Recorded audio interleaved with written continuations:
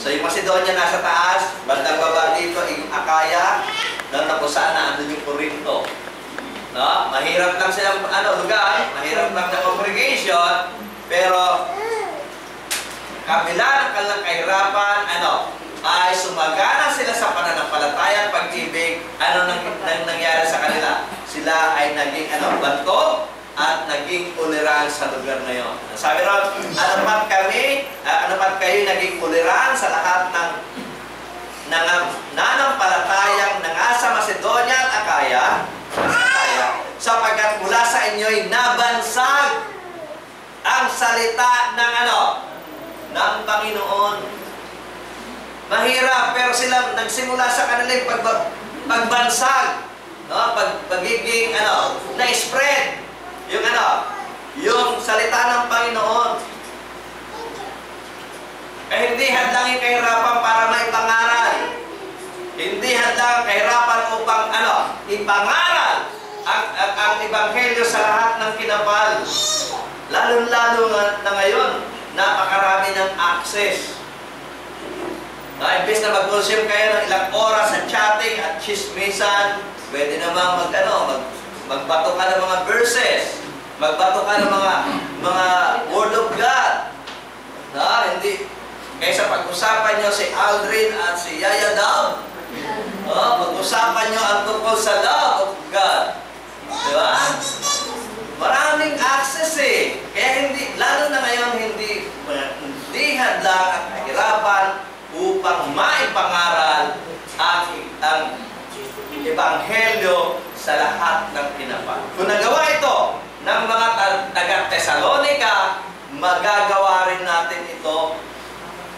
Nagawa nila, mahirap sila. Pero ano, nagawa pa rin nila na maipabantog ang salita ng ano ng Panginoon. Hindi natin basahin, ano pa kayo naging uliran ng lahat ng mga mananampalatayang na nga sa Macedonia at nasa Akaya, sapagkat mula sa inyo'y nabansag ang salita ng Panginoon, hindi lamang sa Macedonia at Akaya, kundi sa lahat ng mga dako ay natanyag ang inyong pananampalataya sa Diyos. At pat kami ay wala nang kailangang masabi pa ng anuman. So, two thumbs up. Sabi ng Apostol Pablo, ang galing ninyo. Di ba? Wala na kami may sasabi pang karagdagan sa nagawa ninyo. Sapagkat sila rin, ha, ang nagbabalita tungkol sa amin ay mga karating lugar. Kung paano nakapasok kami sa inyo at kung paano nangagbalik kayo sa Diyos mula sa Diyos-Diyosan upang maglingkod sa Diyos na buhay at Makikita natin, isang modelo, iglesia lokal. Isang modelong positibo at hindi nagnenega. Isang modelong ano, iglesia na kahit na sila'y naghihirap, na ipagpatuloy pa rin nila na maipangaral ang Ebanghelyo doon sa abot ng kanilang makakaya. Malaking lugar po yung naabot nila. Biro mo, mas, buong Macedonia na pangaralan nila at buong Akaya, hindi lang sa Corinto. So naging katulong po sila ni Apostol Pablo sa pangangaral ng Ebanghelyo mula uh, sa lugar na ito. So, yung yung pag pag pag uh, paglago ng salita ng Diyos at paglago ng iglesia ng Panginoon, hindi po umahadlang o hindi nakakahadlang ang kahirapan. Sapagkat pinatunayan ng iglesia ng Thessalonica, kaya nila. At kung kaya nila, kaya rin natin ang bagay.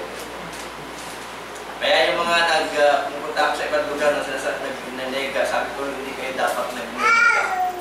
Magpatuloy kayo, lalo yung mga uh, preacher na nawala ng mga support. Sabi ko magpatuloy kayo kapag hindi hadlang ang kawalan nyo ng support na hindi kayo makapapangaral pa rin ng Ebanghelyo sa sino mang tao. Ah, kaya nga mas maganda naging resulta ng mga tao. Ano, hindi nila inisip, mahirap kami, hindi namin kaya ipangaral ito. Wala rin pantustos yan. Hindi nila inisip yun.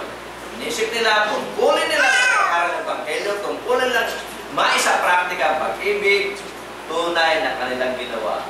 At ngayon nga, bagamat sila mahirap, sila pa ay naging tolerant sa kanilang pagpapabantog ng salita ng Panginoon.